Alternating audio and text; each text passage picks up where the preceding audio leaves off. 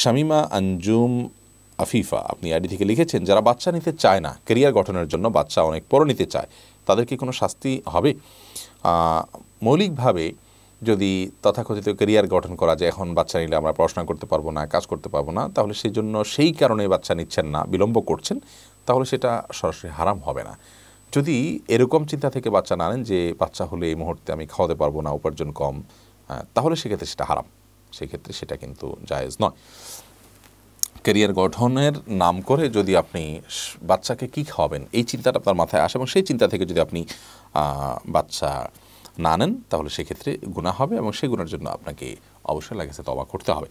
আর যদি যেটা বললাম যে কেরিয়ার গঠন করা বলতে শুধুই আপনি বাচ্চাকে লালন পালন করার মতো পরিবেশ নেই এই মুহূর্তে, আপনার ব্যস্ততা আছে, সেই কারণে আপনি যদি বাচ্চা লালন পালন এই মুহূর্তে করা কষ্টের কারণে আপনি বিলম্ব করেন বাচ্চা নিতে, তাহলে সেটা সরাসরি হারাম হবে না, ইনশাআল্লাহ।